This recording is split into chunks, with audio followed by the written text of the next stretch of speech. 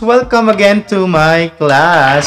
Ito na naman inyong grong vlogger ng Kuwait, Kuro sa umaga, YouTuber and live streamer paggabi. And today, my students in my reading and writing skills class will discuss to us about the pre-writing strategies. So please check this out.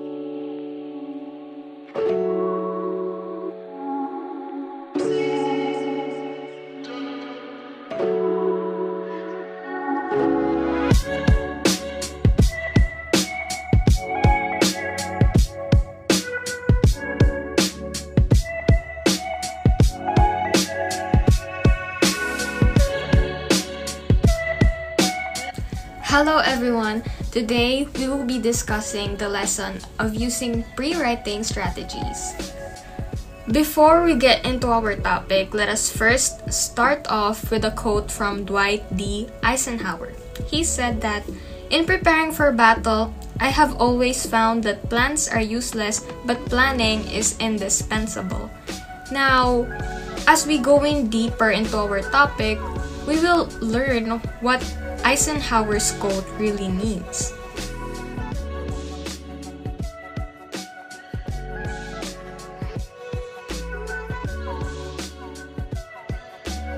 Now let us understand why pre-writing strategies is such a significant part of writing a paper or just writing in general. So first, pre-writing is important to discover what we know and what we need to know about our essay. And second, planning our writing helps us work more efficiently and produce a better output.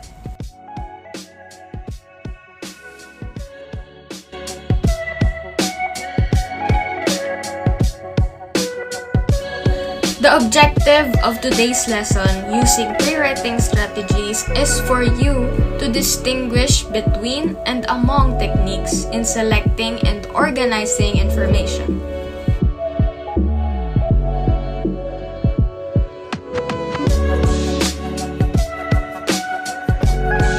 How do you feel whenever you see a blank piece of paper or a blank computer screen?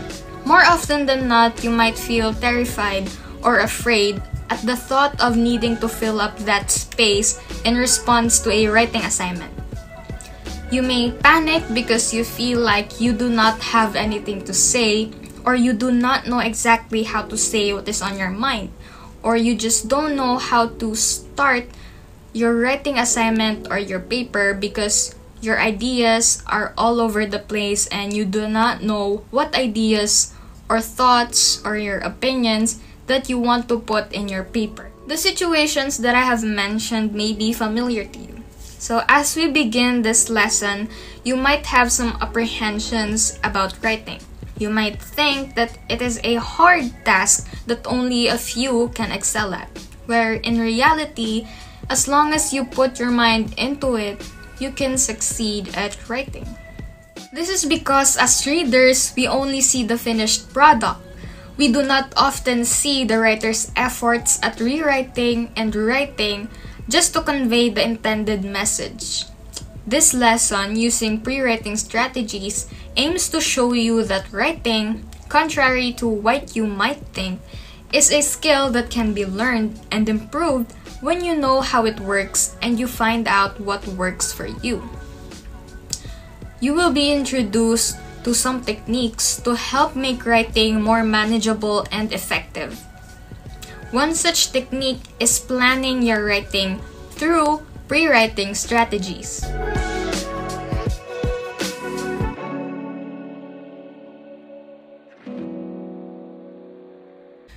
Now let's define pre-writing. What is pre-writing? So from its name, it's very self-explanatory and very obvious. This is the first stage of a writing process, which pertains to different techniques that help you discover ideas before writing the very first draft of a paper.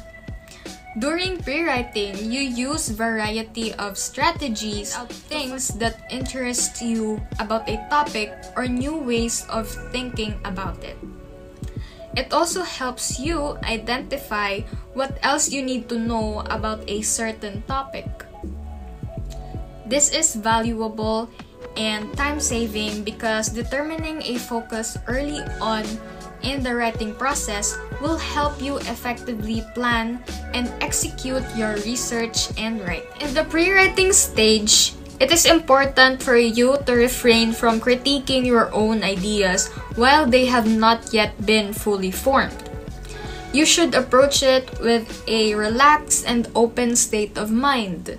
The pre-writing stage allows you to communicate with yourself so you can discover what you want to communicate with your readers.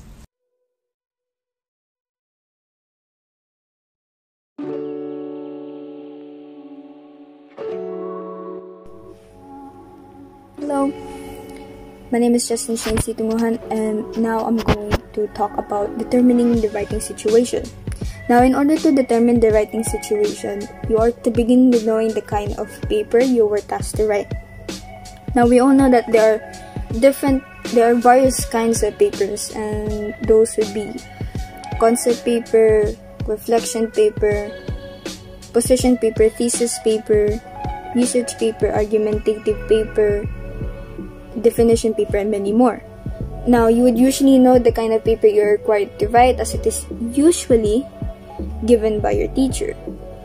You also need to determine how lengthy your paper should be and by lengthy, it meant by the minimum and maximum words that should be in your paper or how many pages should be in your paper.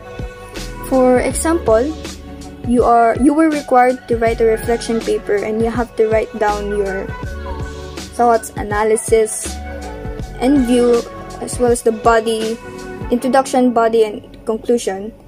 And your paper must have a minimum of 300 words or in other words let's say 1 to 1 to 2 pages and you just have to carefully read the assigned task given as it can help you with what to expect and do when writing your work next is to determine the writing situation or in other words the context of your assigned work as there are some factors that you need to establish like is there an assigned topic or can I decide on the topic I want? What is the purpose of my paper? Is my topic worth reading?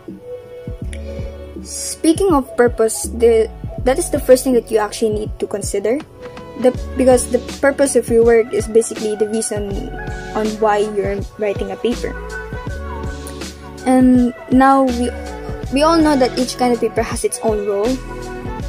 And depending on the kind of paper that you're required required to write your purpose could vary to either to persuade to inform to entertain or to explain to the readers.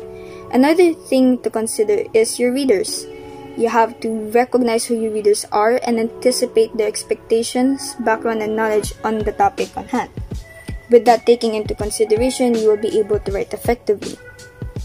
And when you want to tailor fit your writing according to the audience's taste, there are things that you would need to consider in order to get the response that you want from your writing, from your work. And these are some of the questions that I took from the book that you need to consider. Are my readers going to be more female dominant or male dominant? What do I want them to learn from my work? What age group are likely to read my work? how do I want to influence them? And once you have determined your type of audience and purpose, you may now proceed onto thinking about your paper's topic. So that's another thing that you have to determine. It is the topic, and there are times that your teacher would give you an assigned topic, or or the freedom to choose your own. And it, when it comes to choosing a topic, you should be specific with your topic and make sure to narrow it down and limit it and do not broaden it since you will since your work will will lack focus with the specific issue already chosen it must be a topic that you are familiar with that you are knowledgeable with or a topic that you are willing to learn more about which gives you this sense of credibility on your work since you have showed adequate proficiency on the topic. And lastly, now that you have thought carefully about the purpose, audience, and topic, another thing to consider is the expression or tonality you plan to use when making your paper. As this refers to the attitude and feelings whether you are planning to express it in a neutral, formal, informal, calm, or in a slightly aggravated tone. And with that being said, this is on how to determine the writing situations. And that is all. Thank you for listening. Bye bye.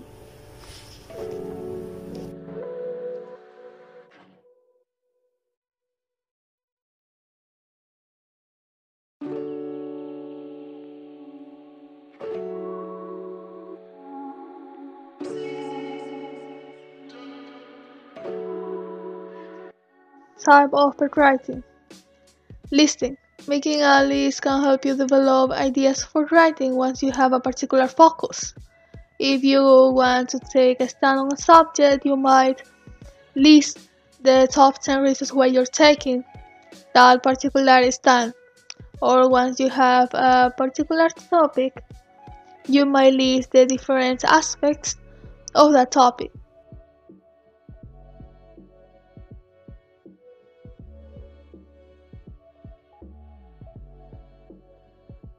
Mapping, or also known as diagramming, helps you immediately group and see relationship among ideas. Mapping and diagramming may help you create and organize information on a topic. Put the subject in the center of a page. Circle it. As you think of others' ideas, write them on the page surrounding the central idea. Link the new ideas to the central Circle with lines.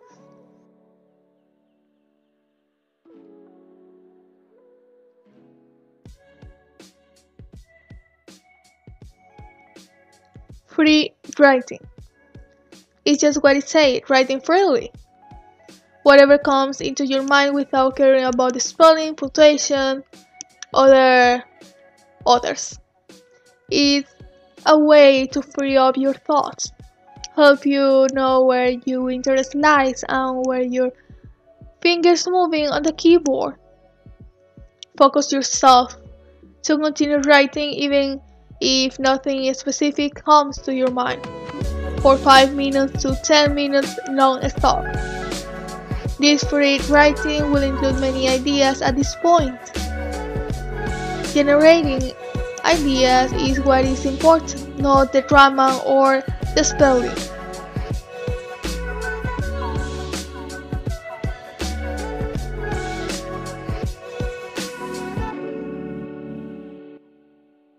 Brainstorm. A person writing on many different color sticky notes can be a way. Brainstorming is like free writing around a specific topic, identifying as many ideas as possible that are related to a particular topic. To brainstorm, let your thoughts about a specific topic flow and list those thoughts in paper, a computer, or sticky notes.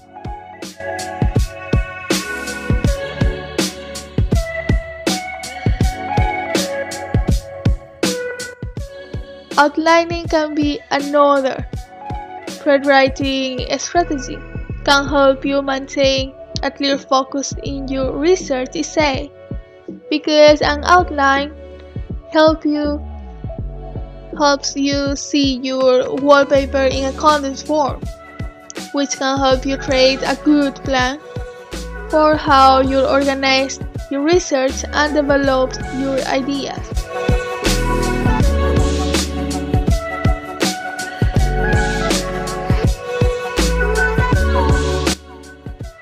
Journaling.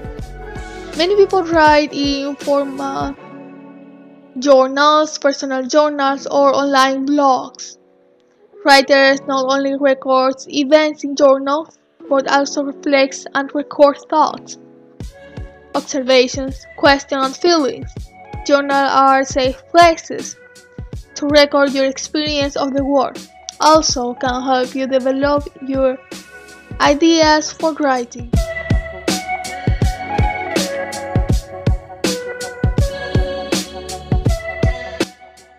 Why writing strategies are important. Here are a short list of the reasons why pre-writing is important.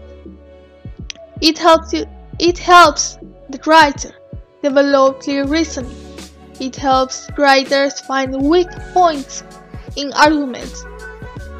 Many lawyers, businessmen, businesswomen can help uses many uh, many writing strategies for their arguments.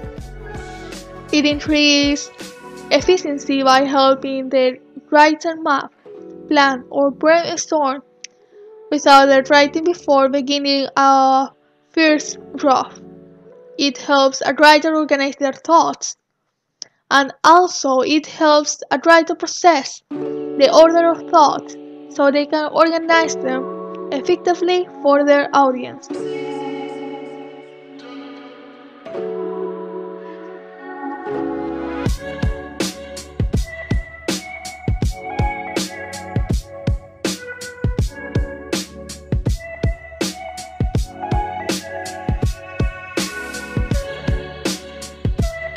Today I'll be talking about the essential questions and examples of pre-writing strategies. For the first essential question, what is the role of pre-writing in the writing process? Pre-writing is the preparation process that you can complete before you actually write your paper, essay, or summary. Pre-writing helps you organize your thoughts, plan your research or writing, and clarify your thesis. For the second essential question, how do the audience, purpose, subject, and context each shape writing? For context, it is a type of situation of setting in which behaviors and other environmental patterns impact interaction with the text. The writer should visualize or forecast audience context. For audience, it is a specified group of potential readers most likely to come into contact with your essay. For purpose, it is the major goal of your writing. Audience awareness is basically knowing who needs to be convinced and how to convince them. Audience awareness begins the moment you form the thesis before you start writing. Now I'll be talking about the examples of pre-writing strategies. So one of the examples of the pre-writing strategies is when pre-writing is the getting ready to write stage, the traditional notion that writers have a topic completely thought out and ready to flow onto the new page is ridiculous. Writers begin tentatively talking, writing, reading, brainstorming to see what they know and in what direction they want to go. The next example is pre-writing involves anything you do to help yourself decide what your central idea is or what details, examples, reasons, or content you will include. Free writing, brainstorming, and clustering are the types of pre-writing.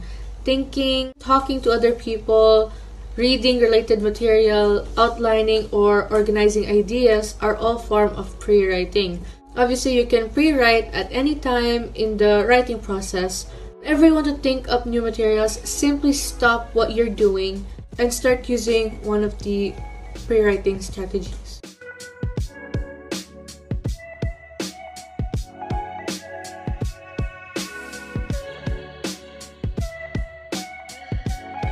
Ayan, ayan, mga students, you have heard the different points of views of my students. And if you want to share your thoughts and opinions too, please comment down. And don't forget to click the notification bell in order for you to be updated if I have new videos. And don't forget to subscribe to my channel because as I usually say, subscribe now, laugh and learn later. Once again, ito po ang inyong gurong vlogger ng Kuwait, Kuro sa umaga, YouTuber and live streamer paggabi, saying, God bless you all at maraming maraming salamat po. Bye-bye!